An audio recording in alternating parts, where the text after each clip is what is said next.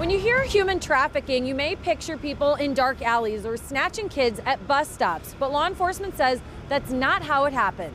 Predators are getting into your home and your kids are inviting them in. The most common way that we see, that I've seen, is through social media. Every app you can imagine, even apps specifically focused for young children. Cindy Malott works with trafficking survivors. She says predators are using technology more to target victims. While the approach has evolved, the method is the same. Assistant U.S. Attorney Jillian Anderson says traffickers identify a vulnerable minor then begin the grooming. You're so pretty you could model, or I don't think your family understands you, or I don't think your peers understand how truly cool you are. Missouri law identifies trafficking victims as any child or coerced adult subjected to commercial sex acts. A trafficker participates in or benefits from that victimization. Traffickers feed on insecurities many young people face. All adolescents are going to encounter periods of insecurity, periods of feeling isolated or feeling depressed.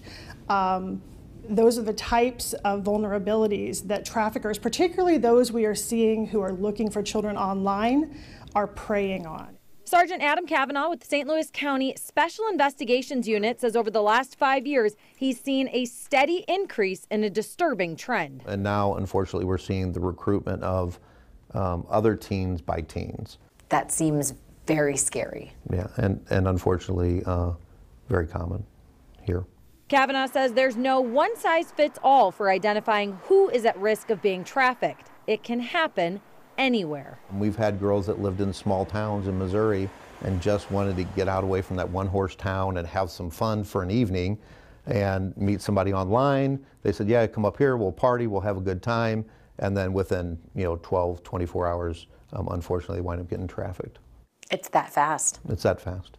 Unfortunately, he says it's just as difficult to pinpoint who the traffickers are. Chief warrant officers in the military, chiropractors, to drug dealers. There's really no, no norm of what to look for. Kavanaugh says local law enforcement is working with hotels, motels, and rideshare drivers to identify trafficking and to report it. But we can also help protect children from predators. Really, the key to helping children protect themselves is to make sure they are empowered with understanding about their vulnerability. Experts say parents can monitor their children's social media activity, but you can't protect them all the time. Instead, teach them how to recognize the warning signs of predatory behavior. Assume that they're going to be exposed to things um, that someone's going to be interacting with your children. Just assume that and talk to them ahead of time. Trafficking can be prosecuted at the state or federal level. Punishment ranges from five years to life in prison. For Fox 2, I'm Katie Kormann.